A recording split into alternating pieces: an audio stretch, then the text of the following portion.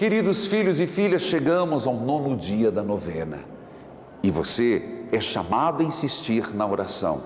Filhos, vamos completar essa novena e pedir, Senhor, eu preciso desta graça. Diga de novo, qual a graça que te fez começar este novenário? Insista no Senhor, que é o bom pastor, o Senhor das Santas Chagas.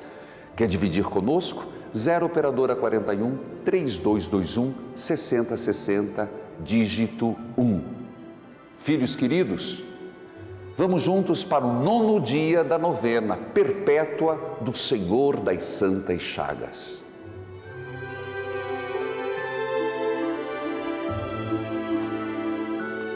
Por suas santas chagas, suas chagas gloriosas, o Cristo Senhor me proteja e me guarde. Senhor Jesus, foste levado na cruz, para que por vossas santas chagas sejam curadas as de nossas almas. Eu vos louvo e agradeço pelo vosso ato redentor. Carregaste em vosso próprio corpo os meus pecados e de toda a humanidade. Nas vossas santas chagas, coloco as minhas intenções minhas preocupações, ansiedades e angústias, minhas enfermidades físicas e psíquicas, meus sofrimentos, dores, alegrias e necessidades. Em vossas santas chagas, Senhor, coloco a minha família. Envolvei, Senhor, a mim e meus familiares, protegendo-nos do mal.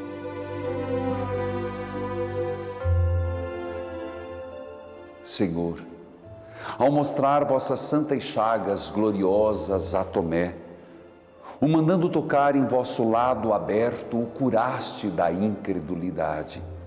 Eu vos peço, Senhor, permita-me refugiar em vossas santas chagas e, por mérito desses sinais de vosso amor, curai a minha falta de fé.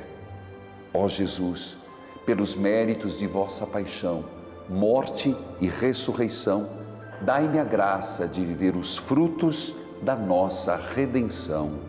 Amém.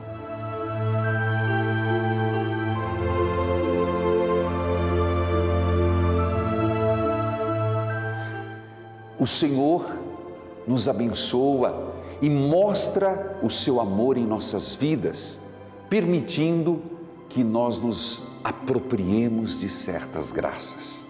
Talvez alguém esteja dizendo: a minha hora ainda não chegou. Tá bom, vai chegar. Escute esse testemunho de quem já pode louvar o Senhor, o que você fará amanhã. Escute lá. Meu nome é Ieda Santiago Vasconcelos, eu sou de Fortaleza, estou aqui para dar meu testemunho. Eu estive doente, muito doente do Covid, estava internada e todos os meus exames, segundo a minha filha, estava dando muito baixo. Então eu não sabia se eu estava viva ou estava morta. Teve um dia que eu estava no hospital e eu lembrei, porque eu assisto o Padre Reginaldo, eu lembrei da gota do sangue de Jesus. Fiquei pedindo a Jesus que colocasse uma gota do sangue dele em mim porque eu já estava para não aguentar mais sem fôlego. E com meia hora mais ou menos eu senti como se estivesse derramando alguma coisa na minha cabeça, como se fosse limpando tudo em mim. Questão de meia hora depois que eu tinha pedido. Aí eu comecei a me sentir melhor, me sentir melhor e aquela lembrança da gota do sangue de Jesus. E a minha família todinha que assiste o Padre Reginaldo também estavam pedindo pela gota do sangue de Jesus. E o grupo dos 13, eu sou de Deus, todos pedindo pela gota do sangue de Jesus para me curar.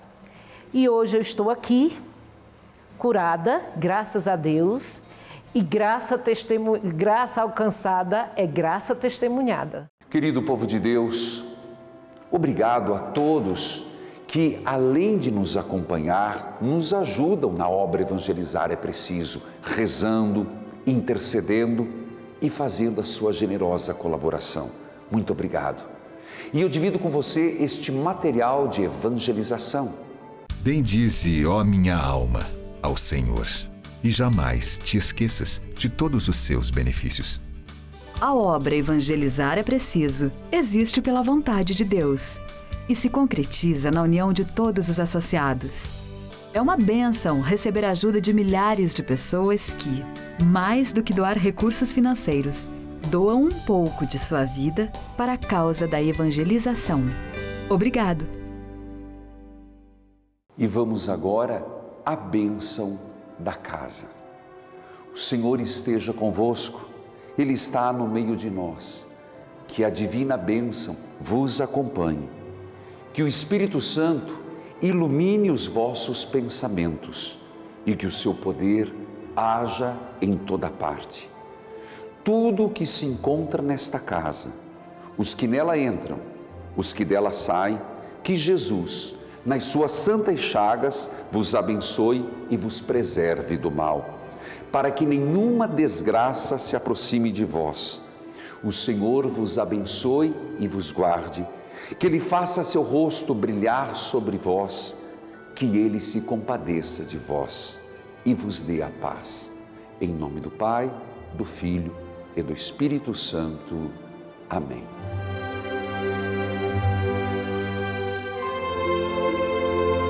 Nono dia da novena das Santas Chagas de Nosso Senhor. Filhos, a novena não termina esse é o nono dia, mas amanhã já começamos um outro, o primeiro dia da novena, porque nós acreditamos na novena perpétua, porque as necessidades são muitas, minhas e suas. Obrigado, Senhor, pela graça recebida. Obrigado, Senhor, por esta novena que concluo hoje. Que Deus os abençoe e vamos juntos estar amanhã para um novo novenário. Até amanhã.